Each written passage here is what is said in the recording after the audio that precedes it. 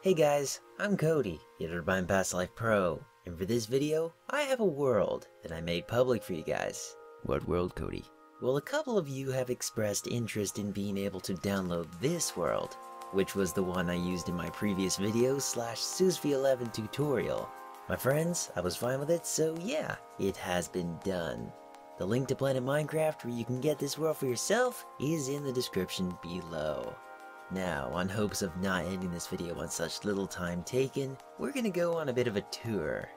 As the title of this video reads, this is my survival world, so I plunked you down next to a bunch of my collected stuff. The items that haven't already been organized have been placed in these nearby chests. Moving on, in my survival world, there are two primary locations where I settled down. The first one being a home built straight into a mountain, and my large-scale production farm, of which I carved directly out of the existing land. I suppose I meant to live in that stone house looking over towards the farm, but I really never got around to it. As you'll find, the first location is far more fleshed out as to what is in the area. It also houses all my found goods from mining. And yes, the two main locations are connected via this underground minecart system.